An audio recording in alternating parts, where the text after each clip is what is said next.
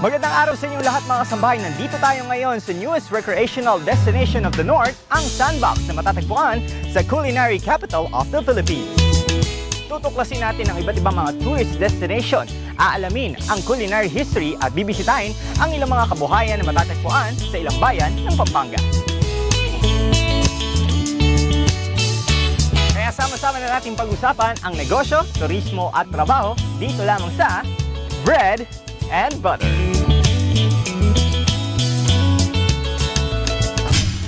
Uh, malaos kayo kayong kusina ng Atsing Lilian. Gusto ko po sabihin, welcome po kayo sa aking kusina.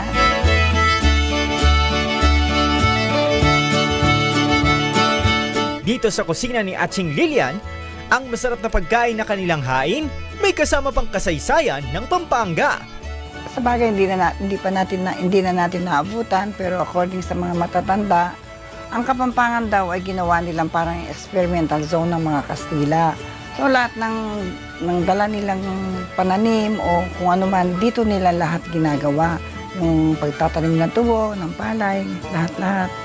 Kaya, at saka dito sila nagtira, kaya nakikita ng mga kapampangan, nung early ng kapampangan, kung paano ginagawa yung ganito, yung ganoon, siguro nasana yung mga taste buds nila sa ano, at saka naging sophisticated ang ano nila sa pagluluto. Ah, kaya kakaiba ang, ang, ang pagkain kapampangan. Doon naman nakikilala naman ng iba kasi kakaiba nga sa iba. Ado, example, adobo. Adobo ng kapampangan, adobo ng Bisaya. Pag tignan mo, masarap yung sa kapampangan.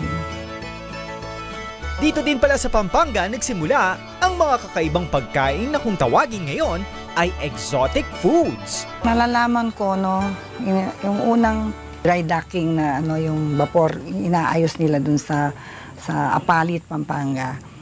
Tapos doon eh pinalilinis yung mga ultimong tawag nila noon, yung mga kapampangan, yung mga Pilipino. Tapos tinitingnan nila kung anong naglinuluto ng mga taga-vapor sa mga para sa kanila. Tapos natututo sila, tapos kinuha rin sila sa kumbento, sa pare. Tinitingnan din kung anong ginagawa ng pare, yung prire. Wala naman silang ingredients. So, nung pinalinis yung simbahan, ilang lahat yung kung anong makuha nila doon, ginaya nila yung adobado nila, yung adobo, ginaya nila, pero iba kakaibang ingredients. And so forth na yon. And then, nung, nung nagkaroon ng famine, naggutom na sila, kahit ano lang makitang palaka, mga, mga kung anong nakita sa ano, yun nag-start ang exotic food. Dahil sa pinaghalong kasaysayan at masarap na pagkain, isa ang kusina ni Aching Lilian sa mga pinagmamalaki na tourist destination ng mga Kapampangan. Kasi yung mga gamit namin, nakatago na kasi hindi na uso yan eh. Tinago na namin sa isang lugar, sa Kamalig. Eh, nag-breakdown yung Kamalig. Dinagay ko na lang kung saan tabi-tabi. Nakita ng Department of Tourism, isang empleyado, nagsabi sa akin, bakit hindi mo ayusin at imbitahin mo yung, ay, ayusin mo at ah, ako, magbibigay ako sa iyo ng, ng bisita. Ginawa nga nila. Aaning na bisita at ang binigay sa akin. Pagkatapos sumunod na, dumami ng dumami.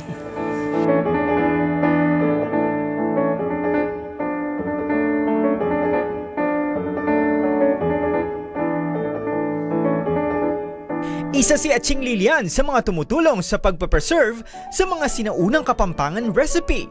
Kaya suportado siya ng Department of Tourism.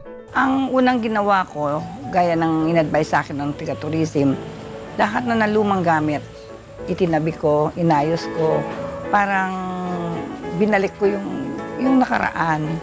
Kasi ang, ang paniniwala ko, ang cooking natin ngayon at kasa, kasalukuyan, eh nandyan na sa, kumbaga kung bundok yan, nasa tip na siya, na kahit hindi ka na magluto, tatawag ka lang sa telephone, um, pagdadalang ka na ng pagkain, de-deliver na.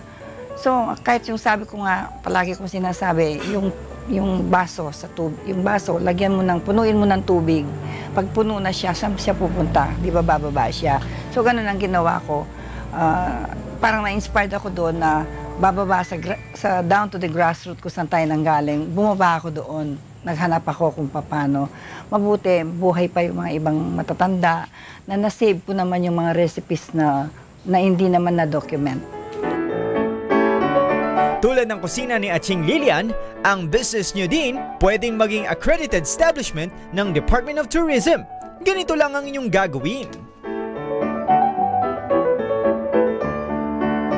Para po sa ating mga kaibigan na gustong pumunta dito, nandito po kami sa Mexico, Mexico, Pampanga, 174 Jayabad Santos Street, Parian, Mexico, Pampanga. Mula sa salitang Pangpang o Riverbanks, ang pangalan ng probinsya na ito sa Luzon. Kilala ang Pampanga bilang isa sa pinakamatandang probinsya sa Pilipinas. Tinaguri ang culinary heart of the Philippines, dito sa Pampanga nagmula ang mga popular na pagkain tulad ng sisig, longganisa, adobong kamaru o kuliglig at bitute tugak o pritong palaka. Bukod sa mga masasarap na pagkain, dinadayo din ang magagandang tanawin at makasaysayang mga lugar dito sa Pampanga.